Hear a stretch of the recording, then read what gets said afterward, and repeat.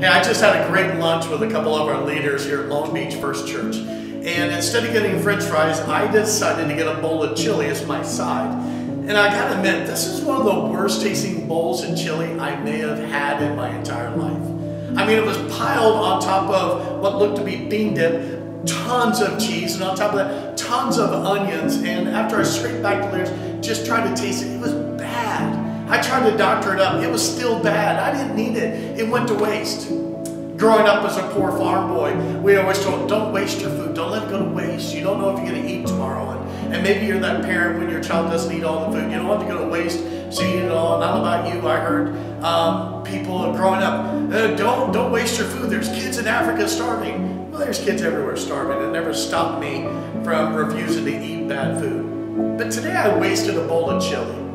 And it doesn't affect me too much, but as you can tell, probably confessional. It probably is more than I think, but I think what bothers me more is when I waste time. Now think about how much time do you waste on social media? How much time do you waste watching TV? How much time do you waste not forgiving people? Or how much time do you waste judging people and condemning people and just not loving people in which the Bible says to love everybody?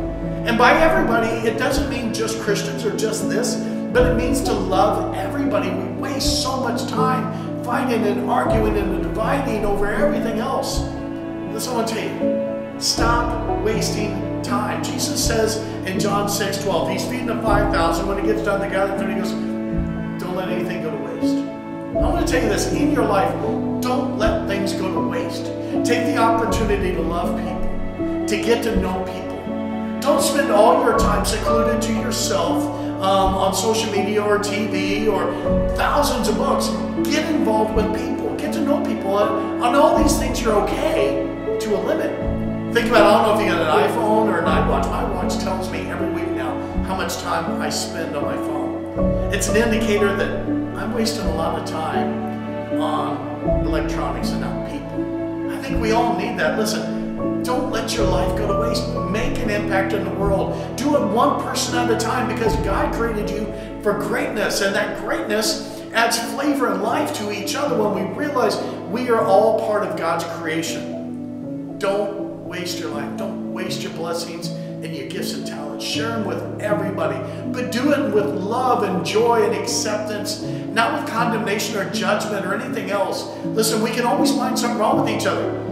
Listen, if you're a true believer in Jesus Christ, find what you love about each other and embrace it and let that grow and see if the world doesn't change then. Hey, I pray you got a great church home that you belong to. If not, we'd like to invite you to our campus here at Long Beach First Church.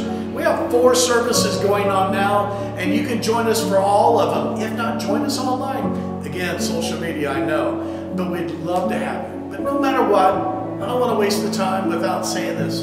God loves you, so do I. We'll see you soon.